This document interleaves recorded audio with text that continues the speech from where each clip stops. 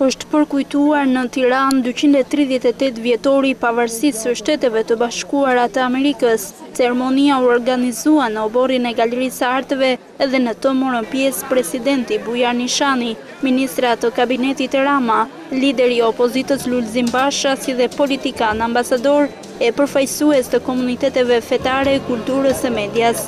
Ambasadori Arvizu e cilësoi statusin kandidat për Shqipërinë, një lajm të mirë për vendin tonë, por edhe për Shtetet e Bashkuara të Amerikës.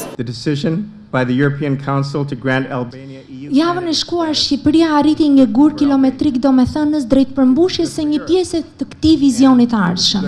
Vendimi i Këshillit Europian për t'i dhënë Shqipërisë statusin e vendit kandidat për në BE Ishte i mirë për Shqipërinë, ishte i mirë për Europën dhe ishte i mirë për Shtetet e Bashkuara. Ishte i mirë për Shtetet e Bashkuara pasi ne jemi përgjithnjë të lidhur me Europën me anë të Atlantikut dhe jo të ndarë prej tij. Arvizu i kujtoi klasës politike se ka në dorë fatet e vendit, ndaj duhet përgjegjshmëri.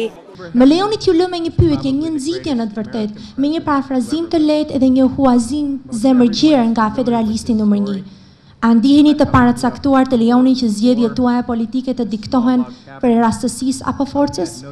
Apo do të provoheni të aftë dhe të gatshëm për të vendosur drejtimin dhe përparësitë tuaja politike në bazë të reflektimit dhe zgjedhjes? Përfaqësuesi i Uashingtonit në Tiranë përcolli dhe një mesazh për të rinjtë shqiptarë.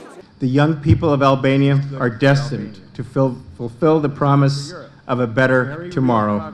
and the time to start is today. Të rinjtë e Shqipërisë janë të destinuar të përmbushin premtimin e një të nesërme më të mirë. Koha për ta nisur është sot.